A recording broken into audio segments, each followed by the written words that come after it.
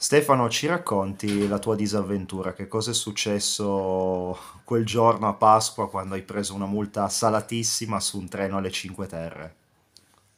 Sì, eh, eravamo di ritorno da una splendida giornata alle Cinque Terre, abbiamo utilizzato il treno pur avendo la macchina, ma al ritorno ehm, è successo un, diciamo così, un- credo un disguido da parte di Trenitalia, nel senso che al momento in cui noi dovevamo prendere il treno per, per il ritorno, era ehm, arrivato un treno dalla direzione opposta scaricando, in ritardo, scaricando una moltitudine di, di turisti.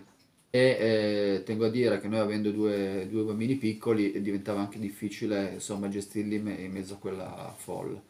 Eh, di modo che noi, pur avendo già i biglietti e regolarmente vidimati, siamo eh, saliti eh, sul primo treno in direzione eh, utile alla nostra destinazione finale.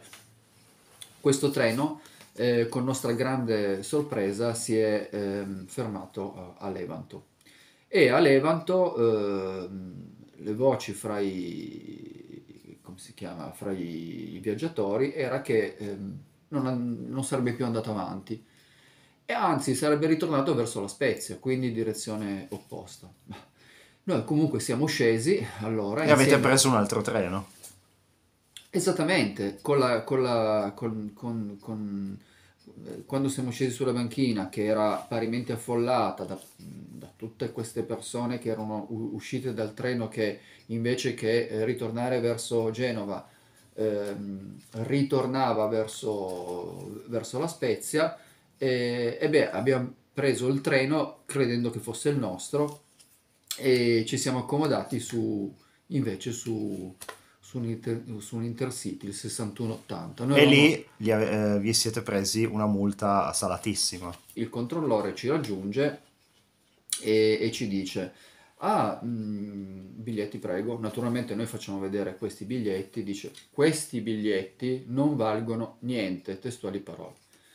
E, e per cui gli devo fare il verbale Di di, di- quanto? di, eh, alla fine 117 euro eh, a testa. Nel Quindi una multa da 117 euro, che è una multa salatissima. tengo a dire per una fermata, ripeto per una fermata, perché poi eh, quando noi siamo scesi dal, eh, a, mm, eh, a Sestri Levante, dopo 5 minuti è arrivato il treno 3096, che era quello per cui noi avevamo questi biglietti. Qu- Quello che voglio dire è che dopo 5 minuti è arrivato il nostro treno, quindi noi non ci abbiamo guadagnato assolutamente nessun tipo di, di- non abbiamo avuto nessun guadagno in termini di tempo. Io ho fatto vedere, ho presentato a Trenitalia eh, questa multa che, è stata, che mi è stata fatta sul, sul 6180 da parte del controllore di- del, dell'Intercity. Trenitalia mi risponde che in realtà avremmo dovuto essere multati mh, per circa 15 euro a testa, insomma, e che mh, per questo si impegna eh, a restituire 85 euro. Quindi alla fine avrai un rimborso di 85 euro. Sì,